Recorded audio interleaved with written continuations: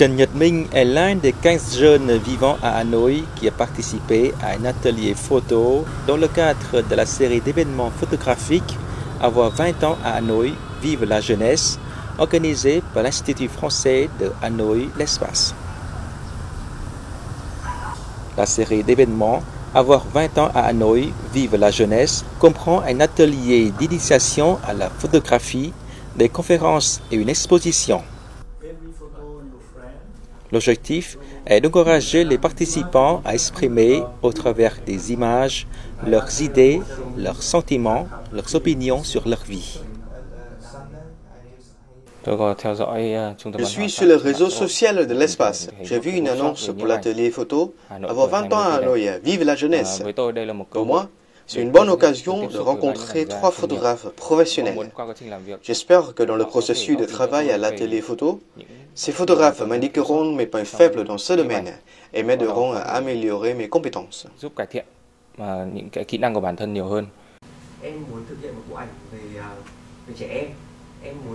Parmi plus de 70 candidatures de jeunes Anoïens de 18 à 30 ans, seulement 15 ont été choisis pour suivre l'atelier avec le photographe français Nicolas Cornet et deux homologues vietnamiens Bình Đặng et Mai Nguyen Anh. Bình Đặng est photographe de presse, de publicité et auteur. Son travail est souvent marqué par ses inspirations personnelles et liées aux problématiques sociétales. Quant à lui, Mai Nguyen Anh est artiste plasticien. Ses œuvres, souvent un savant mélange d'observation et de poésie, sont enrichies de significations personnelles et de préoccupations actuelles.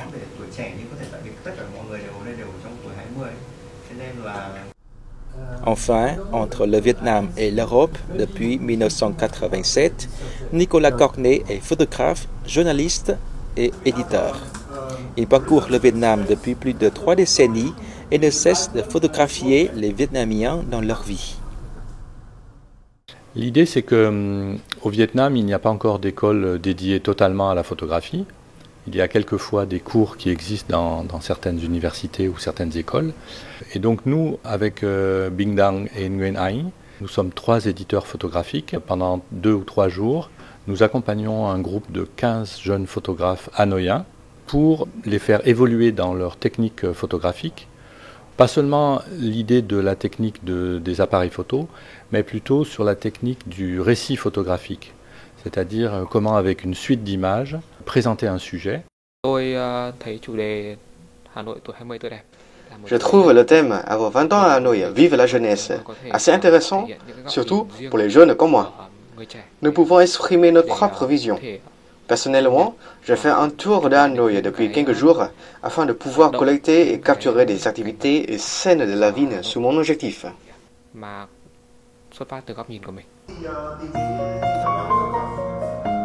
Après une semaine de travail, des séries de photos sur un anneau multidimensionnel ont été prises et les photographies ont été regroupées dans une exposition au cœur de la rue Ngọc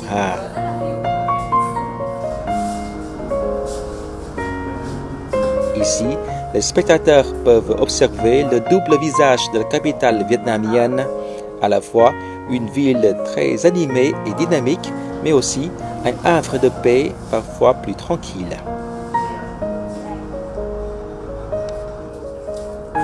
Les images capturées montrent les vieux quartiers que vous pouvez parcourir tous les jours sans pour autant s'attarder sur leur charme si particulier.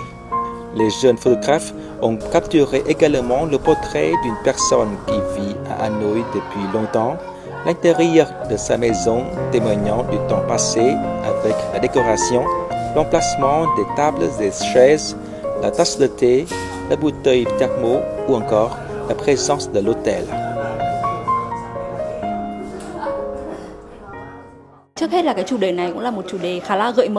C'est un thème assez libre, pas trop contraignant.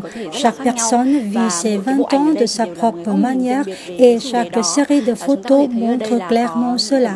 Les participants de l'atelier ont trouvé quelque chose pour eux. Ils ont posé des questions qu'ils n'avaient jamais osé poser et utilisé leur appareil photo autrement, d'une manière qui leur permet d'exprimer leurs émotions.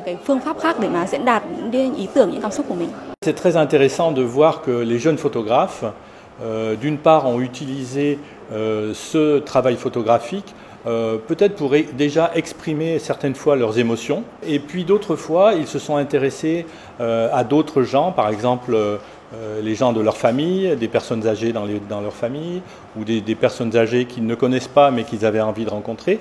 Il y a une réelle ouverture sociale et qui fait qu'il y a une grande proximité avec les gens. La série d'événements Avoir 20 ans à Hanoï, Vive la jeunesse comprend non seulement un atelier photo et une exposition, mais grâce à cette activité, les passionnés de photographie ont eu l'occasion d'exprimer leur point de vue et préoccupations au travers de leurs objectifs. Cette expérience a certainement contribué à donner davantage de sens à leur vie, à leur jeunesse.